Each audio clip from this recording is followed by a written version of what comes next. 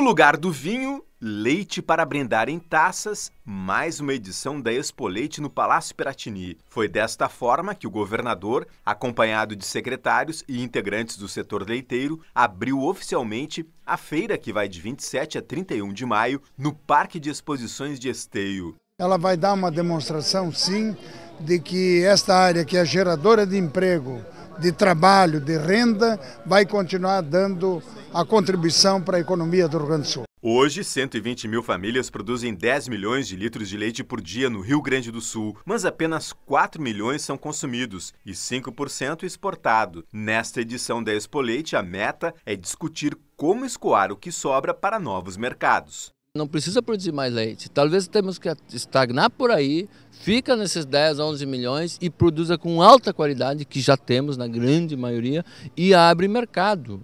O secretário da Agricultura, Hernani Polo, disse que o Estado é parceiro do produtor. Nós estamos trabalhando internamente com a equipe técnica, através da Câmara Setorial do Leite, eh, de forma conjunta com as entidades, para que possamos eh, ampliar e principalmente superar alguns desafios que nós temos no sentido do escoamento da nossa produção, abertura de novos mercados, o avanço do estado sanitário, que isso vai nos dar uma melhor condição e fazer com que esse produto né, tenha exatamente a valorização uh, merecida e justa aqui no nosso estado.